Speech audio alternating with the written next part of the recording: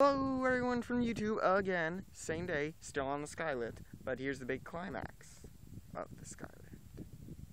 Get ready. Three, two. Okay, I'm gonna start it again. Three, two, one. Oh, that is beautiful. That is so beautiful. I mean, just look at it. Okay, now, people who are watching this video, I call you, I call you everyone from YouTube, and I'm gonna actually, like, call you guys, uh, let's see, um, how's about you guys give me something to call you? You know, like a, like a nickname or something. Like, a nickname I can call everyone who watches my videos.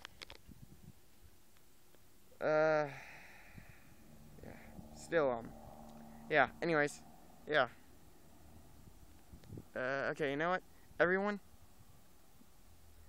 who watches my videos, you may not know this, but I'm Christian. So yeah, but anyways, God gave us this beautiful world, and what are we doing to it? We're destroying it. We are destroying what God gave us. Why? Humans are driven by desire. Because Eve ate from the sacred tree in the uh, in the Garden of Eden. From the apple, from the tree of wisdom that God told them not to eat off of. Then she tricked Adam into eating the fruit. And yet, God still gave us this beautiful world. Seriously, look at this. I forgot, people throw stuff on that rock there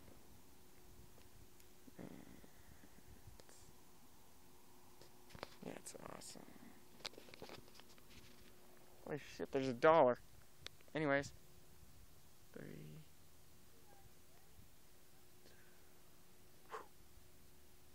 Ah, dang it. Whatever.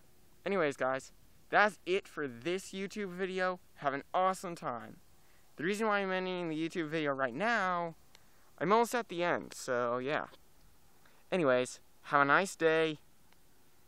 And oh my god, I hope I get to go on this skylift again. But yeah. So anyways, tune in next time for another YouTube video from Robert. And as usual, guys, have an awesome day. Check in for the next YouTube video. And don't go away.